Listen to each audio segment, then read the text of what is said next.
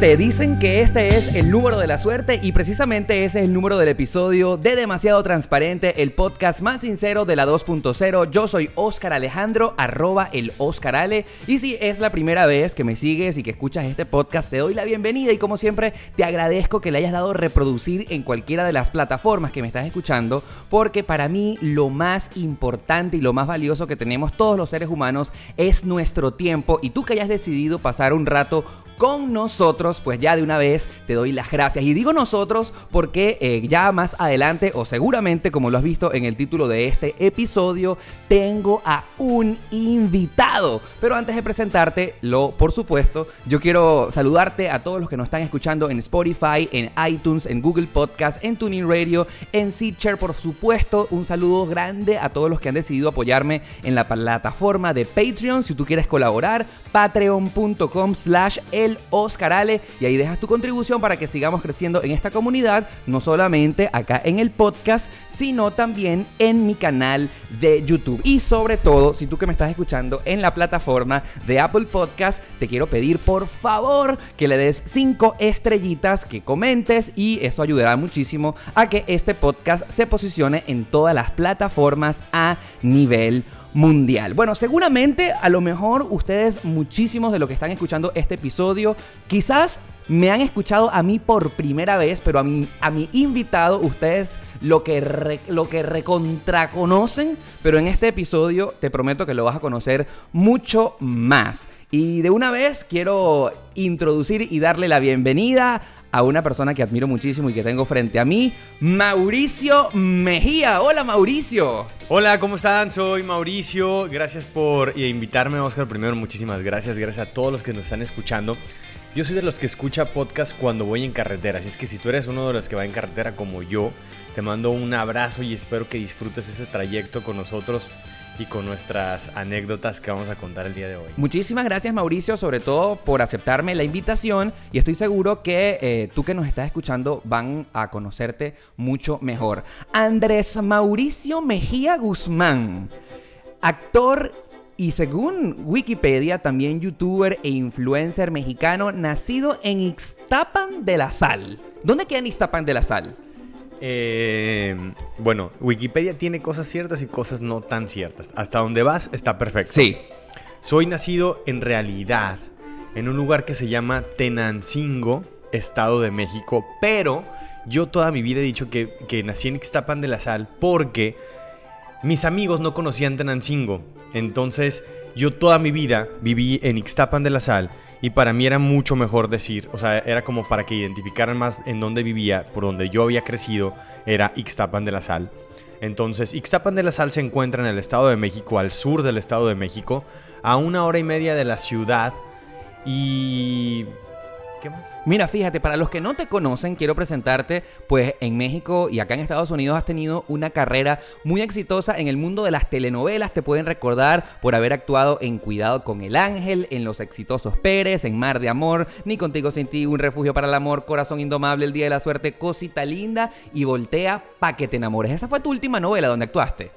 Sí, fue Voltea pa' que te enamores, que era la, es una telenovela venezolana con la versión americana eh, de Univision para, para la, parte latina en Estados Unidos.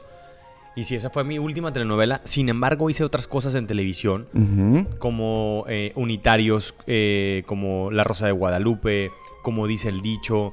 Conduje dos programas acá en Estados Unidos. uno es Sal y Pimienta y el otro es Tu Día Alegre. He participado como co-host en Un Nuevo Día.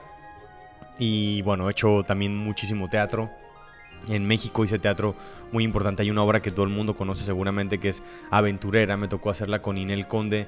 Y en la gira en Estados Unidos yo era el galán de la obra y eso fue increíble porque me tocó eh, estar en el teatro, por ejemplo, donde se presenta o donde se presentó Britney Spears en Las Vegas. Estuve en el teatro del Universal Studios en Los Ángeles. Y bueno, hice toda la gira por acá, por Estados Unidos. Así que he tenido una carrera bastante buena.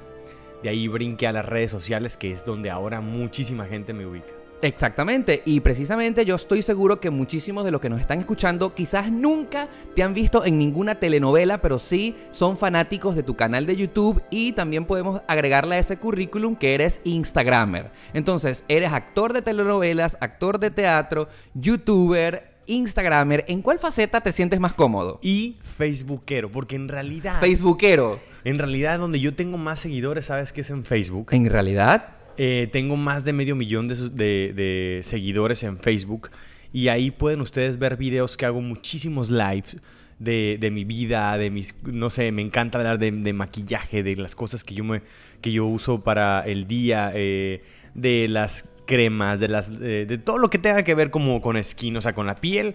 Me encanta ahí, me encanta darles las recetas que yo utilizo para llevar una vida más saludable, cuáles son los ejercicios. No sé, dense una vuelta por mi Facebook, que es muy fácil que me encuentren. Es una fanpage que se llama Mau Mejía. Está verificada para que tengan la certeza que es, que es la mía, así es que me pueden encontrar por ahí. Así es. Pero de la pregunta que te hice, de todo lo que haces, actor de telenovelas, presentador de televisión, youtuber, instagramero, facebookero, ¿en cuál te sientes más cómodo? ¿En cuál sientes que eres más tú? ¿Cuál te gusta más?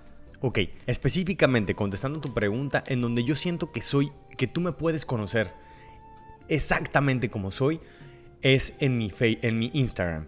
¿Por qué en mi Instagram? Porque en mi, en mi Instagram, no sé qué me está pasando en la lengua, en mi Instagram es, es, como mucho más, como instantáneo, como mucho más eh, lo que soy.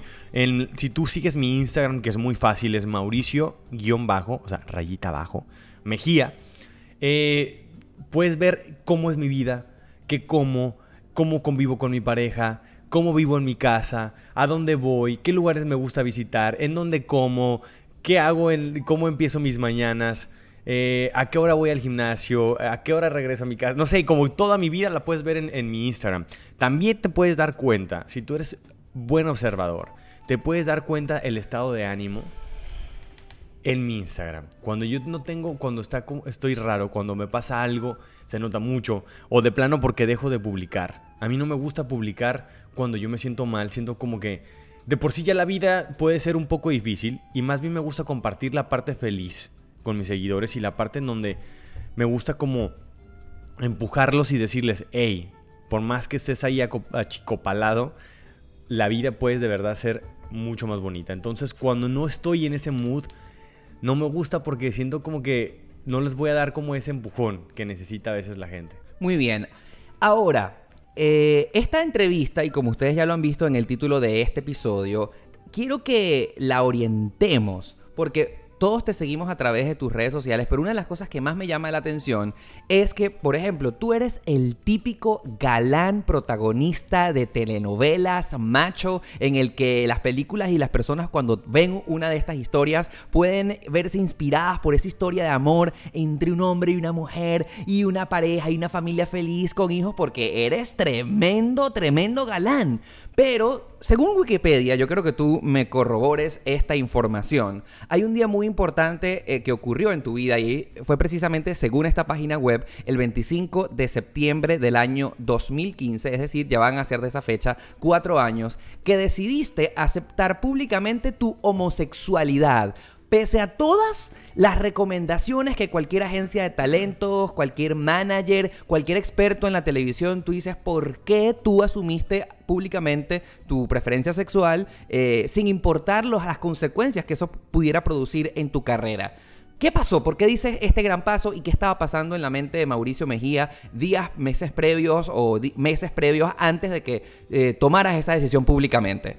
Bueno, antes de que tomara esa decisión, exactamente, yo se la compartí primero a mi familia, después a mi manager y al equipo de trabajo que estaba conmigo y, a, y a mis amigos. Y todo el mundo, Oscar, todo el mundo me dijo eso. Que no. ¿Por qué vas a hacer eso? Vas a echar a perder tu carrera, tu carrera se va a acabar, la gente no va a querer darte más trabajo, los productores no te van a querer en sus novelas, bla, bla, bla, bla. Todo era en una forma negativa. Pero yo tenía algo muy claro, que era eh, que yo estaba eh, teniendo 33 años y que no estaba viviendo la vida que en realidad yo quería vivir. Ni era una vida heterosexual, porque no lo era, pero tampoco era una vida gay como yo la quería llevar, como la llevo en este momento. Entonces lo que me planteé fue como de, a ver, tengo 33 años, creo que es momento de hacer en realidad lo que yo quiera hacer y como yo lo quiera hacer. Ejemplos, cosas tontas, cosas súper simples que estoy seguro que tú me estás escuchando, haces o te gustaría hacer. Subir una foto con mi novio a mi Instagram. Compartir en donde estoy comiendo con mi novio. Compartir un mes si cumplo con mi novio. Etcétera, etcétera. Enseñar a mis amigos. Yo nunca mostraba a mis amigos porque no quería que me ligaran y que llegaran al punto donde, donde supieran exactamente que yo era gay. Y contra todo el mundo yo dije, voy a hacerlo. Así es que eh, un 25 de septiembre. Según dice esta página web, sí. Bueno, no, yo ni, ni siquiera me acuerdo exactamente qué día, pero un 25 de septiembre, a través de mi Facebook y de mi Snapchat, porque por esas dos redes sociales lo hice, conté una historia de la primera vez que yo me enamoré. Entonces conté una historia sin, dar el género, hasta que les dije, y la persona de la que yo me enamoré se llama Pepe. Entonces, eh, yo lo hice porque yo estoy seguro que mucha gente, muchos chavos y muchos papás de esos chavos necesitan saber que hay una vida normal. Yo lo voy a hablar por, mis papás. Mis papás tenían mucho temor del rechazo que podría generar mi orientación sexual, de la, violen- de la violencia que podría generar eso también, del que yo no fuera feliz en una sociedad que no está hecha para nosotros los homosexuales. Entonces para mí era muy importante decirle a toda esa gente que me sigue que no se preocupen y que se puede vivir una vida exactamente normal como la de cualquier otra persona sin importar si eres gay o no eres gay. Ahora, esas advertencias que a ti te hicieron sobre no aceptar tu preferencia sexual públicamente, ¿han afectado tu carrera? ¿O de qué manera la han afectado? ¿O para, tanto, tanto para bien como para mal? Pregunto. Mira, yo no te puedo dar con certeza después de que yo salí del closet qué tanto afectó. Antes de haber salido del closet, hubo un paparazzi en México donde me pusieron en una portada de la revista más importante de espectáculos que me frenó muchísimos proyectos, sí, porque salía yo besándome con un novio. Nunca di las declaraciones, por eso, por eso yo no digo que yo salí del closet en ese entonces. Sin embargo, después, yo no sé hasta qué punto sí tuvo que ver mi salida del closet, porque también yo dejé de buscar trabajo en la televisión. Ok, lo hiciste a propósito, dejaste de buscar trabajo. Yo tenía otra profesión que creo que mucha gente no sabe, que es antes de haber estudiado para para actor yo estudié para estilista. Trabajé tres años en México como estilista y luego dejé de trabajar 10 años. Pero cuando yo decido salir del closet, en realidad yo venía con todo un proyecto que era retomar mi carrera como estilista y dejar a un lado la carrera de televisión. Porque yo sabía que iba a tener muchísimo rechazo, o yo pensaba que iba a tener mucho rechazo. Entonces dejé de, buscar eh, el lado de la televisión. Me empezaron a buscar para hacer más conducción, pero yo, yo decidí que tenía que enfocarme en una de las dos cosas para arrancar bien. Y fue el lado de la estética. Y también de ahí se desarrolló el lado en las redes sociales, que para mí es como donde yo hago como eh, mi parte artística, es donde yo saco y como lo padre y lo divertido de tener mi propio canal, mi, propio, eh, mi propia cámara todo el día, es que yo, yo me puedo grabar y me puedo hacerlo, o sea, me puedo producir como yo quiera. Entonces la parte artística la saco por ahí y la parte profesional, creativa y donde gano dinero es en la parte de la belleza. Ahora, la pregunta eh, que se me ocurre es que tú, antes de que te hicieran bullying, antes de que te hicieran sentir mal, antes de que comenzaras a salir en las revistas, eh, tú dejaste la tele a un lado para evitar que eso ocurriera. No, dejé a un lado la televisión en realidad porque yo no me sentía ya cómodo con el lenguaje de la televisión. Mm. Yo quería ser actor y, que- y quería ser actor específicamente de telenovelas porque yo amaba las telenovelas. O sea, yo era de los que me sentaba, veía las historias, me encantaba eh, cómo era el lenguaje de la televisión. Y cuando yo dejé de estar enamorado de esa parte, ya no me gustó.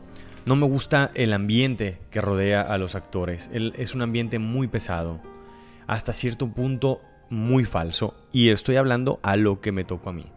Entonces cada uno vive su mundo y yo no, yo no juzgo lo que los demás, eh, las decisiones que cada uno toma. Pero por mi parte, me parece un mundo demasiado ficticio, ya al nivel personal, al nivel como de cuando, cuando apagas la cámara, mucha gente se queda como en ese rollo de, ah, soy estrella. Y Se quedan metidos en el personaje. que no es así, Oscar. Y mucho menos ahora con las redes sociales. Porque antes la única forma de ver a tus actores era a través de la pantalla de la televisión o del cine o el teatro. Pero ahora no. Ahora todo el mundo tenemos un- una cámara donde tú puedes ver exactamente cómo es la vida de todos, que todos somos humanos y que todos en realidad somos exactamente igual. En el año 2019, en el que nos encontramos actualmente, ¿sigues persiguiendo volver a la televisión o pudieras decirte que te retiraste por completo de ese mundo? Mira, me han llegado muchos proyectos. Eh, justo estaba platicando contigo de un proyecto que van a. Una, una telenovela que van a lanzar. Y me mandaron a hacer un casting que era bastante interesante y de hecho era un personaje gay. Pero, te repito, no me, o sea, no me veo en ese mundo otra vez. No sé qué vaya a pasar más adelante. Pero en este momento en realidad no me gustaría, no, o sea, no me veo otra vez en, en los camerinos, no me veo otra vez con la gente de la televisión que me estén eh, tratando de decir qué hacer y qué no hacer en ese mundo en específico. Pero te hicieron mucho daño, porque puedo intuir eso según lo que estoy sintiendo. Lo que pasa es que es un ambiente muy frívolo.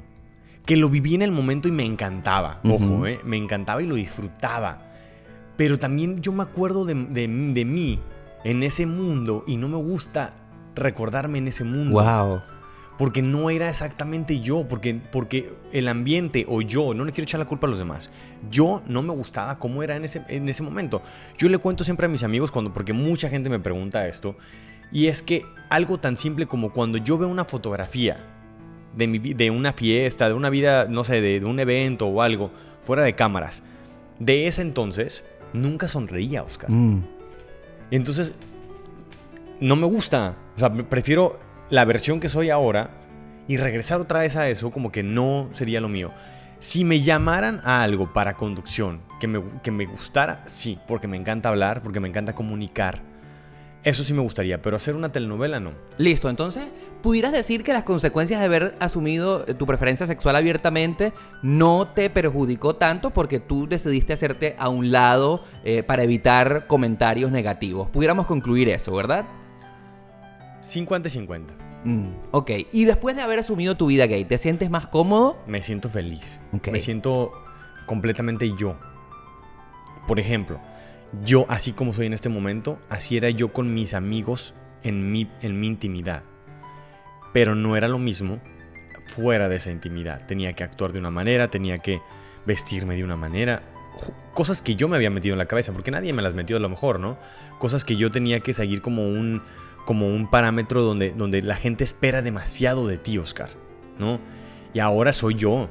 Y, si, y lo que me gustó es que la gente que me sigue, en realidad me sigue porque soy así. Exactamente como soy. Fíjate, pero tienes más de 300 mil seguidores, no solamente en tu cuenta de Instagram, sino también en tu canal de YouTube. Y me comentabas hace cinco minutos que querías salir del closet porque te gustara o que soñabas con mostrar cómo eras tú en la vida real y, por ejemplo, mostrarte saliendo con tu novio o haciendo o mostrando las cosas que haces común y corriente en tu vida cotidiana. Pero, ¿cómo manejas? El aspecto de compartir tanta información sobre tu vida personal con el mundo entero o con todos tus seguidores, porque yo te voy a decir algo, tengo un montón de menos seguidores que tú y yo puedo sentir cómo la gente te juzga, te critica, te opina, eh, tú le das demasiada información a la gente con cualquier cosa que uno pone en las redes sociales. La pregunta para ti es, ¿cómo manejas eso? ¿Te gusta? Mira, yo creo que yo tengo muy buenos seguidores porque la mayoría, yo te podría decir que un 90% de mis seguidores eh, son súper positivos. Y tengo haters, pero yo no trato de no enfocarme en eso. Trato de leer todos los comentarios, todos los mensajes que me mandan para saber cuál es el feedback que estoy teniendo y si, si están, eh, si estoy transmitiendo lo que, lo que quiero decir o lo que, o lo que quiero mostrar. Y te puedo decir que en realidad yo tengo muy pocos haters, muy, pocos, muy poca gente que sea negativa. Pero la poca gente que, es- que es negativa, cuando tú la analizas, por ejemplo, hace poco yo puse una fotografía, eh, perdón, puse unos videos de una rutina de gimnasio y me contestaba una de estas personas, de estos haters, me contestaba que para qué mostraba mi rutina de ejercicio si sabía que yo me había hecho la, La eh, lipo, la- la lipo y la marcación abdominal. Entonces yo me metí a ver su perfil porque dije, bueno, quiero ver quién me está escribiendo. Y era un chavo eh, con un sobrepeso considerable. Entonces, viendo sus fotos, veía como que por lo menos lo que yo podía ver es que no era un chavo feliz. Entonces le contesté y le puse, mira, lo primero que yo veo es que tú necesitas mucho amor. Así es que primero te voy a mandar un abrazo muy fuerte y espero que lo recibas así. Y segundo, para tu información, no solamente es para estar eh, con un cuerpazo o no. Eh, hacer ejercicio te pone eh, la mente mucho, mucho más ágil, te libera de malos pensamientos, te activa el metabolismo, te hace sentir mejor y puedes tener buen cuerpo. Si te operas, necesitas, o sea, necesitas seguir haciendo ejercicio porque si no pierdes la operación. Y si no pierdes las rayas que te hicieron, o sea, la marcación que te hicieron, créeme que no vas a tener un cuerpo armónico porque te va a hacer falta pierna, hombro, brazo. Eh, ¿Sí me entiendes? Sí, por supuesto. Entonces, la mayoría de la gente que te juzga es porque en el fondo quisiera ser como tú. Entonces, trato más bien como de darles cosas positivas justo a esas personas para, para, porque en realidad es lo que están buscando, llamar tu atención. Fíjate, me decías más temprano que, por supuesto, no te gusta compartir contigo los momentos más tristes u oscuros que pasan en tu vida. Sin embargo, como todos, y lo que se los quiero decir a ti que me estás escuchando, nadie tiene una vida perfecta. Nos gusta mostrar, sí, claro, cuando la estamos pasando bien, pero cuando no, pues yo opino lo mismo que tú. Cuando yo estoy triste, no pongo nada. Quiero que me cuentes, o quiero que le cuentes a, ti, al que nos está escuchando en este momento, cómo hace Mauricio Mejía cuando está pasando por un momento bajito, cuando está pasando por un momento triste. ¿Cómo haces para recuperarte? ¿Qué técnica usas? Mira, justo hace un mes me pasó algo que no me esperaba, que fue la muerte de mi papá. Y es un acontecimiento que, eso, que yo no esperaba y que tú crees que nunca va a pasar. Y aunque yo no tenía una relación muy estrecha con mi papá, en, cuando fallece y cuando tengo que ir a México, a mí me toca hacer todos los trámites, desde reconocer el cuerpo, eh, hacer el, la, la... todo, todo, todo, todo lo que tiene que ver con eso. Yo pensé que no me iba a afectar tanto por no tener una relación tan estrecha con él. Sin embargo, me afectó mucho más de lo que yo me imaginé, que hasta la fecha me, me siento como que me falta algo, me siento muy vulnerable. ¿Y cómo, cómo me recupero? Agarrándome como de, de las cosas en las que yo creo. Uno, soy guadalupano de corazón, creo en la Virgen de Guadalupe. Mi familia, tenemos un chat donde ahora, si todos los días nos saludábamos, ahora es como mucho más, te agarras de la familia mucho más fuerte, de mi pareja, de, de mis amigos, de la gente que me rodea. Y entonces me ha costado salir. Por ejemplo, tengo un mes exactamente de no hacer videos para mi canal. Hoy grabé eh, mi regreso a mi canal, que seguramente cuando ya veas este, cuando escuches este podcast va a estar arriba, que es el, el tour de mi casa. Y bueno, la manera en, que yo me, en la que yo me recupero o estoy tratando de recuperar es tomando energía también de los demás. Si es verdad que es muy egoísta no compartir la parte triste porque deberíamos de compartir todo con nuestros seguidores. Yo, sin embargo, estoy de acuerdo contigo en que no me siento cómodo tampoco compartiendo mi parte triste. Porque me parece como demasiado show off. Y cuando estoy tan triste y estoy tan oscuro, ni siquiera tengo ganas de levantar el teléfono. Así que estoy de acuerdo contigo. Pero por eso te preguntaba, que cuando estamos tristes, porque todos no, no todo el tiempo estamos felices, ¿cómo hacías? Bueno, y por ejemplo, cuando murió mi papá, yo no quería subir nada acerca de la muerte de mi padre. Porque uno, no quería recibir mensajes sí, sí, sí. de cómo estás, ya vas mejor. Que son inevitables, que, claro. que son inevitables. Hasta que en el funeral se acercó una persona conmigo y me dijo, mira, a tu papá le encantaba que lo pusieras en tu Instagram.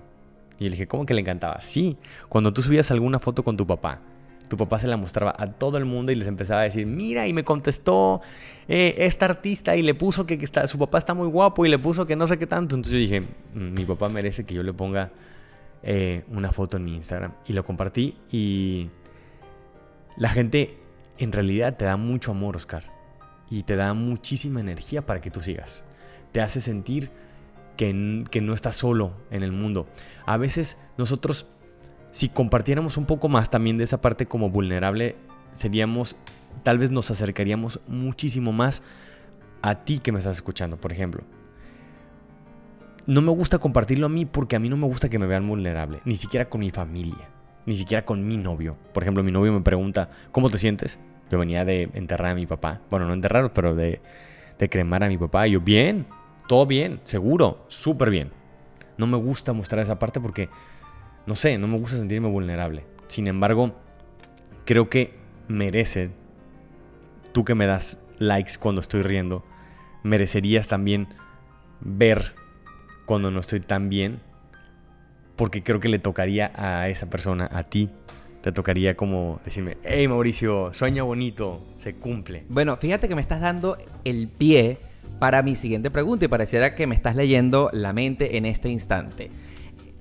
Yo soy tu seguidor desde hace muchísimo tiempo, eh, antes de que nos conociéramos e inclusive y cuando cada vez que cerrabas uno de tus videos y decías, o siempre dices la frase de sueña bonito se cumple, tú no sabes el poder que tiene esa frase porque nos haces motivar a todos los que vemos tu contenido que las cosas sí se pueden hacer realidad. ¿Cómo llegó a tu mente, cómo llegó a tu vida la realización de esa frase y la motivación para compartirla como siempre lo haces? Ok, esa frase, yo hice una telenovela que se llama Los Exitosos Pérez y la grabamos en Argentina. Y en Argentina, lo voy a contar súper breve, en Argentina un día llegó, estaban afuera del canal donde grabamos la telenovela, unas fans de Jaime Camil.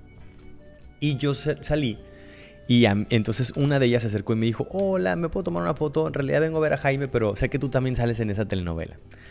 Y le caí también que ella se volvió fan mía. Yo, yo hice convivencias con, con ellas en Argentina y tal. Y ella se volvió una amiga de que tenía mi teléfono, nos comunicábamos muchísimo. Yo regreso a México y termino con un novio y la situación se puso muy difícil en mi parte personal. Y ella un día me llamó y me dijo, Mauricio, te noto muy triste. Y yo, sí, es que la verdad terminé con mi novio y no tengo ni idea de cómo salir de esto. Y ella, entre todos los consejos que me dijo, como, hey, adelante, tú puedes, tal, cuando se despidió me dijo, Mauricio, sueña bonito, se cumple. Colgué con ella y me quedé pensando y dije, claro, es verdad, o sea, soy un soñador, Oscar, de toda mi vida. Yo me acuerdo que a los 15 años soñaba con ser actor y, y me soñaba tal cual ha pasado mi vida. Soñaba con tener un novio que pudiera pasear, que pudiera viajar, que pudiera ir de la mano con él. Soñaba con un novio que fuera como el que tengo. O sea, si yo te cuento todos los sueños que he tenido y todo lo que se me ha realizado, soy una persona súper afortunada. Y todo tiene que ver con soñar bonito, porque se cumple. ¿Y cómo se va a cumplir? Con mucha disciplina, con mucho trabajo y sin desenfocarte. Es muy fácil desenfocarte de tu camino. Pero si uno tiene claro a dónde quiere llegar, esos distractores no van a hacer que te frenes. Precisamente, me acabas de decir, la pregunta es que te iba a hacer, ¿cuál es la receta mágica para que los sueños se cumplan? Ya dijiste que una de ellas era la disciplina, ¿qué otra cosa? Yo creo que tiene más bien que ver eso, con la disciplina, con lo perseverante. Por ejemplo, tú eres una, una persona que puedes constatar eso. Si tú no eres perseverante, sí, sí. si tú no eres constante, si tú no tienes disciplina, que es lo que envuelve todo eso, entonces no vas a alcanzar nada. A lo mejor puede ser que tengas golpes de suerte y se te den las cosas o algunas cosas sin mover un dedo. Qué bueno, qué bueno y mira, aprovechalo. Pero la vida te va a enseñar que la única manera de lograr lo que quieras es con disciplina, con esfuerzo, con... O sea, si tú no estás logrando algo que tú quieres, que tú te has propuesto y que dices, pero es que yo me lo propuse, pero es que yo trabajo por ello, algo estás haciendo mal. Fíjate, sueña bonito se cumple. Se han cumplido la mayoría de las metas que tienes. Y eso te pone eh, a pensar en que qué hace falta para que se cumpla en la vida de Mauricio Mejía, porque ya muchas cosas que has soñado las tienes. ¿Qué viene en tu vida? ¿Qué deseas que se cumpla? Bueno, yo tengo unos proyectos que pronto se los voy a compartir que tiene que ver con las cosas que estoy haciendo en este momento. Tengo muchos sueños, hay muchas cosas por las que yo quiero todavía estar en este plano y trabajar por ello. Siento que en este momento soy de los que de los que visualiza lo que va a pasar o lo que, o lo que quiero que pase más bien. Y trabajo para ello. A veces la gente no entiende o no entiende el momento que estás pasando y cree que a lo mejor no estás haciendo nada. Pero mientras tú estés claro en qué estás haciendo y en qué estás invirtiendo tu tiempo y hacia dónde vas, eso está perfecto. Pero pudieras compartir con nosotros algún sueño que se pueda compartir y decir en dónde te ves, qué quieres lograr, algún anhelo que tengas en este instante. Mira, eh, yo soy de los que me dejo que la vida me lleve y que me sorprenda. Claro que yo tengo como las cosas como que yo quiero hacer. No lo voy a compartir Mm. porque dicen que si tú cuentas los sueños antes de que se cumplan, no se cumplen. Mm. Entonces, más bien te invito a que te quedes pegado a mis redes sociales porque vas a ir descubriendo poco a poco porque ya empecé a decirles muchas cosas de lo que está de lo que estoy preparando que tiene que ver con mi vida diaria y con las cosas que tú vas a encontrar en mis redes sociales y te vas a dar cuenta. Lo que sí te puedo adelantar para que para que te diga para que te diga algo es que lo que viene son cosas que a mí me gustan, que yo utilizo y de las cuales te quiero compartir para que lo vivas conmigo. Fíjate, mm, estoy completamente seguro que aunque has evadido completamente mi respuesta, pero al menos te agradezco que le hayas justificado el por qué no.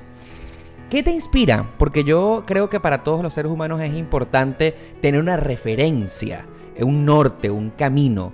Eh, ¿Sigues a, a algún artista con el que tú dices, mira, su trabajo lo, ad- lo admiro, me encanta cómo hace sus cosas? ¿Cuáles son las referencias de Mauricio Mejía? Más bien son personas, o sea, son personas comunes y corrientes. Me gusta mucho admirar a la gente que, alcanza sus sueños, Oscar.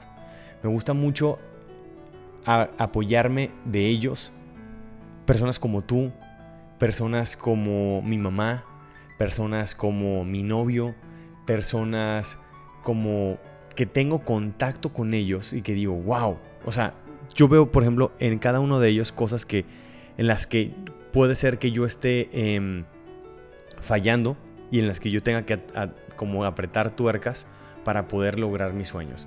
Trato de, eh, sí, de ponerme eh, metas. Por ejemplo, una estupidez, pero yo me acuerdo que cuando yo quería lograr un, mi, que mi cuerpo, o sea, cuando hacía muchísimo ejercicio para lograr los cuadritos antes de que los hicieran marcados, eh, me ponía una fotografía, por ejemplo, de Aarón Díaz. Y cada vez que yo iba a comerme algo que no debía comerme, veía la fotografía de Aarón Díaz y decía, No. "Verga, esta cochinada que voy a comer me va a alejar de eso. de esta foto que yo quiero. Entonces, bueno, trato como de, como de ver cosas así, eh, para que, que vayan como por el mismo canal que el mío, para poder eh, no desenfocarme y lograrlo. Pero no, por ejemplo, no quieres compartir conmigo qué artista favorito admiras, por ejemplo. Es que en este momento en realidad no tengo como un artista así como que diga, Digo artista porque es un lugar común de todos nosotros, que alguien, un nombre que cualquiera de nosotros pudiera conocer. "Mm, no, no tengo como uno que diga, wow, quiero ser así. Ok. Pero hay cosas de varios que me gustan. Por ejemplo, lo que pasa es que en este momento no, como que por- e, hubo un momento que yo, bueno, no, tiene razón, te voy a compartir uno. Por ejemplo, Luisito Comunica. Luisito Comunica tiene cosas que, que me encantan, pero que siento que en este momento está perdiendo y por eso ya hasta se me había olvidado. Pero Luisito Comunica antes tenía una cosa que era súper natural. Y siento como que, como que se la está creyendo Sí, se está creyendo mucho el cuento. que ya perdió esa chispa. O sea, Mm. por ejemplo, yo en el último video que vi ya es como, está un poquito, ojo, es mi opinión, no quiero decir con esto que sea real lo que digo, pero siento que ya hasta la manera en que saluda y nos habla a nosotros, su público, ya está como demasiado eh, Creído. creído. Ya O sea, llegué a los 23 millones de suscriptores, wow. Pero, o sea, ya hasta hace como unas bromas como que, como que digo, ¿eh? Sí. ¿Qué pasó? O sea, no sé. Pero, pero, sin embargo, hay cosas que me encantan de él. Hay cosas de edición que me gustan de él. Hay cosas de edición que me gustan de Juan Pablo Zurita, de Juan Pablo Jaramillo también. Eh, no sé, hay cosas. Pero me llama la atención que las referencias que me estás dando en este momento son youtubers. Y precisamente no te he preguntado por esa faceta que fue por la cual yo te conocí en realidad por tu canal de YouTube. Em, ¿Cómo te sientes ahí en, esta plataforma? Te he visto eh, videos que han llegado a millones de reproducciones, sobre todo el de tu operación, pero también hemos visto videos controversiales que grabaste con Pepe y Teo, con Paco del Mazo, recientemente te vi con Ed García.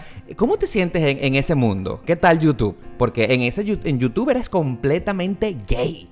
Un público que, que te sigue y que te adora por eso. Esa es la parte, por ejemplo, súper gay de mí súper, súper, súper, súper, súper gay. A veces me asusto y le bajo, a veces le subo, a veces le quito, a veces le pongo. Pero ese es Mauricio. Así como me ves en mi canal, así soy yo. A veces soy súper gay, a veces no tanto, a veces soy muy conservador. A veces soy yo. Es como todas mis facetas. A mí me parece que YouTube es una plataforma, eh, aunque ahora últimamente estamos demasiado limitados. Sí, muchas restricciones la plataforma. Demasiadas restricciones siento que puedes eh, expresarte como tú quieras y lo que tú quieras. Tú puedes hacer videos de lo que tú quieras. Un tutorial, un eh, style, eh, eh, tags, Storytime, o sea, lo blog. Por ejemplo, a mi público le encanta que yo le cuente historias y hace mucho que no le cuento. Yo debería de contarles más. Lo hice en el Uber, por ejemplo. sí. el otro día estaba pensando en contar las historias de la playa. Pero también a veces pienso y digo, ¿será que a mi novio le incomode que yo cuente esas cosas que fue en mi pasado? Pero a mí me encantan. O sea, si yo les contara todo lo que he vivido, estoy seguro que les encantaría porque son historias muy divertidas. Pero, a ver, ya que hablas de tu novio, ¿Qué ha pasado? Mi novio. ¿Qué ha pasado con la incorporación de este personaje que muestras, que no muestras? La gente sueña contigo, tiene fantasías, pero ya sabemos que tienes novio. ¿Ha bajado, ha subido el engagement o la tasa de la que la gente sueña contigo? ¿Cómo hacemos en ese aspecto? ¿Cómo luchas con eso? Ay, bueno, sí es, sí es una lucha porque a veces yo mismo, o sea, no es porque él me diga exactamente, pero a veces yo mismo trato como de no faltarle al respeto pero también yo soy de mi público, o sea, yo soy de mis seguidores y yo soy de esos chavos que, sueñan con que yo sea su novio. Y también trato de darles a ellos como su lugar sin dejar el lugar de mi novio. Entonces es bien difícil, o sea, es bien difícil de pronto como no pasarme para que mi novio no sienta que ya estoy faltando el respeto a él, pero tampoco darles menos para que los otros digan, hey, ¿qué pasó? Sí, sí. ¿No? Pero, y me pasa más que les doy menos a los otros, a mis seguidores y a veces sí me lo reclaman. Me lo reclaman en el sentido del engagement. O sea, si yo no les soy tal cual como soy, ellos lo notan demasiado. Entonces baja mi engagement. Entonces tienes esa lucha con, horrible, con respecto a poner a Enrique en el canal o no ponerlo. No, no, no, no. A ellos les gusta que salga Enrique en mi canal, pero más bien como los temas que toco. Claro, claro. Es cuando, cuando ellos como que se ponen... Eh, eh, es que es como, estoy como entre la espada y la pared con Enrique para que no se me vaya a enojar cuando le subo de tono mis temas y con los demás cuando les bajo mis tonos, como que dicen, hey Mauricio, o sea, danos más, ya sabes. ¿Has pensado en arrepentirte de algún error que hayas cometido en tu vida? De algo que tú dices, uh, si no hubiese podido hacer esto, las cosas hubiesen podido ser mejor, si pudiera retroceder el tiempo. Bueno, sinceramente, en el momento que cometo el error, claro que digo, ve, ¿por qué lo hice? Por ejemplo, cuando me peleo. Yo soy, yo soy muy visceral. Eh, cuando me peleo, yo empiezo. A mitad de la, pelea empiezo a decir, Mauricio, la estás cagando, la estás cagando, cuidado, la estás cagando. Bueno, ya me dejo ir. y después, o sea, en ese momento digo, ay, no, ¿por qué lo hice? ¿Por qué no me callé? ¿Por qué no mejor me guardé esto que pensaba? ¿Por qué no cerré la boca? Y después, con el tiempo, dices, bueno, ese error en realidad valió la pena. ¿Por qué? Porque aprendes. ¿Por qué? Porque gira entonces la situación y, entonces te das cuenta por qué tenía que pasar de esa manera.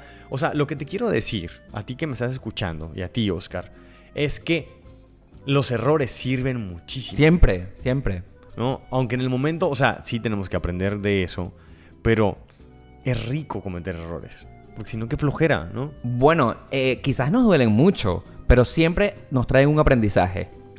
Yo siento que si en este momento, por ejemplo, eh, hablando de relaciones, siento que si en este momento conociera a uno de mis exnovios, o sea, que se repitiera la historia, pero ahora en este momento, yo creo que sería muchísimo diferente, o sea, sería diferente y podría durar mucho más con cualquiera de mis exnovios porque ya estás mucho más maduro. Tienes ya otras, eh, otra forma de pensar, ¿no? O sea, estás más aterrizado. Pero gracias a todos los errores que cometiste. No quiero ponerte en compromisos con la siguiente pregunta, pero siento que es momento de que esto se ponga caliente. Quiero que me digas dos nombres. Un nombre de una persona que admires muchísimo y que cuando la hayas conocido haya sido mejor de lo que pensabas. Y un nombre de una persona que hayas admirado muchísimo y que cuando la hayas conocido en persona hayas dicho, uff, pero no, qué onda, qué mala onda, qué mala onda este güey.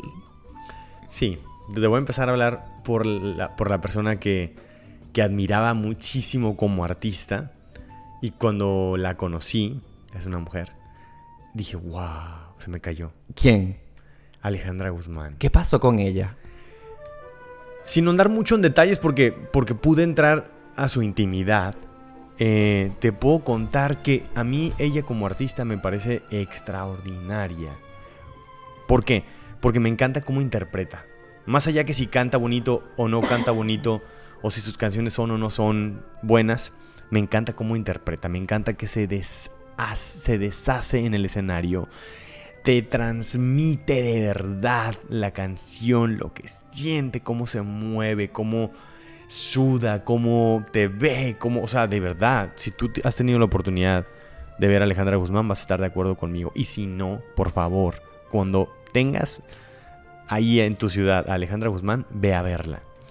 Pero en el lado personal, eh, no me pareció tan buena persona ¿Sí? ¿Cómo es? me parece, se centra, y no quiero hablar más para que no hable mal de ella, porque no me gustaría que hablara alguien mal de mí, pero me parece que tiene que ver con el egoísmo, ¿no? O sea, me parece que es como primero ella, después ella y luego ella, ¿no? Y... No sé, eso fue como... Te que- decepcionó. Sí. No fue buena onda contigo. Y puede ser que sea un espejo, ¿eh? Puede ser más bien que esa parte sea la que no me gusta tampoco de mí, ¿no? Y fue por la parte que, que a lo mejor me decepcionó. Seguramente. Seguramente. Y la, y la persona que yo, o sea, admiro y que la conocí y que dije, o sea, la admiro más. Bueno, una de las personas de mi vida que me pasa siempre que, que la veo es, por ejemplo, mi mamá. Tal vez va a sonar muy cursi, pero no le cambien, no, no se quiten de esa sintonía y les voy a explicar por qué. Mi mamá me parece la persona más bondadosa del mundo. Tendrá sus defectos, efe- evidentemente. Pero la forma en la que nos llevó adelante, la forma en la que nos educó, la manera en la que ella salió y la manera en la que ha hecho su vida, me parece como... Yo cada vez que digo, wow, o sea, si mi mamá pudo, o sea, como que yo no puedo. Si mi mamá hizo, como que yo no puedo. Si mi mamá fue, como que yo no puedo. Entonces es una persona que me motiva muchísimo, que me da muchísima gasolina para seguir en esta vida y para seguir mis sueños. Ella es una de las personas que más admiro en mi vida. ¿Y de algún artista que con nosotros nos conozcamos? ¿Algún personaje público? Después me voy a arrepentir porque estoy seguro que se me va a venir a la cabeza. Seguramente que "Uy, sí". ¿por qué no? Pero no, no me acuerdo en ese momento. O sea, por ejemplo, yo cuando conocí a Juan Pazurita y me trató tan bien, yo dije, qué buena onda él, que, que es tan conocido y que me trató tan bien. Pero ya me acordé de una. Por ejemplo, yo a una, una actriz que admiraba así, que decía, wow, ¿te imaginas conocerla? Era Verónica Castro. Verónica Castro para nosotros los mexicanos, sobre todo de mi generación para abajo, o sea, para, o sea, para más grandes, Sí, sí, sí. eh, es una estrellota. A lo mejor los más pequeños no la conocen o no tienen la misma referencia que yo. Pero Verónica Castro para mí era, es una estrellota, ¿no? Hizo mucho, sobre todo como conductora me fascinaba, que es en la forma en la que uno más se puede acercar a los artistas desde mi punto de vista. Y cuando me tocó trabajar con ella, y decía, ¿será que, se- que sangrona? ¿Que me puedo acercar? ¿Que puedo hablar con ella? Y fue, o sea, mejor de lo que yo pensaba, Oscar. Una persona súper humana, súper compartida. O sea, increíble. ¿Trabajaste con ella dónde? En los exitosos Pérez. también. Ok, perfecto. ¿Cómo te ves en 10 años? Pregunta lugar común, pero que no puedo dejar de hacer. En 10 años. Sí. Bueno. Una meta corta. Los años están pasando demasiado rápido. En 10 años. En 10 años yo tendría entonces 47, porque estoy a punto de cumplir 37. Tendría yo 47.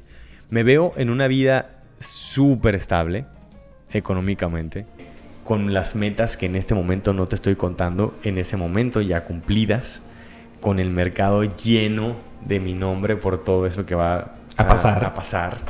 Eh, me veo con mi novio, con el mismo que tengo ahorita. Me veo igual viajando, conociendo, disfrutando. ¿Qué cosas de las que estás haciendo ahorita te gustaría seguir haciendo dentro de 10 años?